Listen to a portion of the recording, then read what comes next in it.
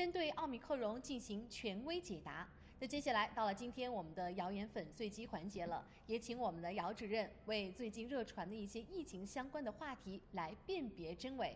我们首先来看第一条。网传疫情发生地区域上空会检测出新冠病毒，这种是真的吗？这种说法应该是谣言，不是真的。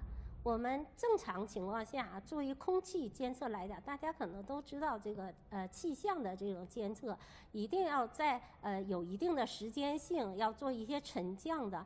那么我们做的最多的应该是空调的这个过滤膜，但是不会说说大气中接点呃这个就会去检测，而且这种也基本上不会查出这样的阳性的。那刚刚我们的姚老师也给大家辟谣了，这种说法呢是错误的。我们一起来看看第二条。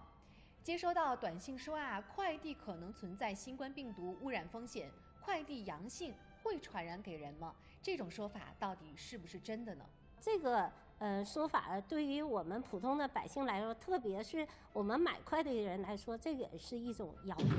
因为大家可能知道啊，就是说快递小哥有感染，那么前提就是说他。多次反复的接触了这个阳性的快递件儿，那么我们就拿了一份的这个快递件儿，说我们如果还有一个保护意识的话，也不太会感染这个相关的这样的一个疾病。没有一个人说我接收快递我我感染的这样的一个情况，包括海鲜的问题也是这样。好，我们再来看看这第三条，奥密克戎传播力这么强，我们以前熟知的防疫的呃三件套、防护的五还要。不管用了，这种说法到底对不对呢？这种说法一定是错误的。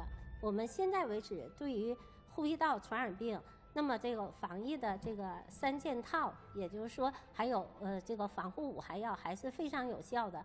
不光是对这个奥密克戎这个疾病，对所有的呼吸道传染病都是非常有效的一个措施。谣言辨真假，防控莫放松。我们今天特别节目给大家科普了奥密克戎最新的疫苗接种要求，以及许多容易模糊的防控要求。如果电视机前的圈友您对奥密克戎或者是最新的疫情动态有任何健康疑问，欢迎大家拨打栏目电话零二四二三幺八六零六五向我们进行咨询，或者关注微信公众号“辽视健康朋友会”给我们进行留言，我们会第一时间来为您解答。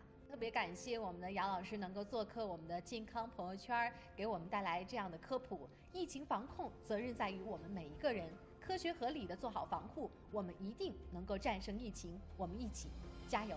大家呢仍然要保持警惕之心，时刻做到科学防护。加上我们现有疫苗的这个加持，从我们既往对传染病控制的经验来讲。真的离我们战胜新冠疫情又前进了一步。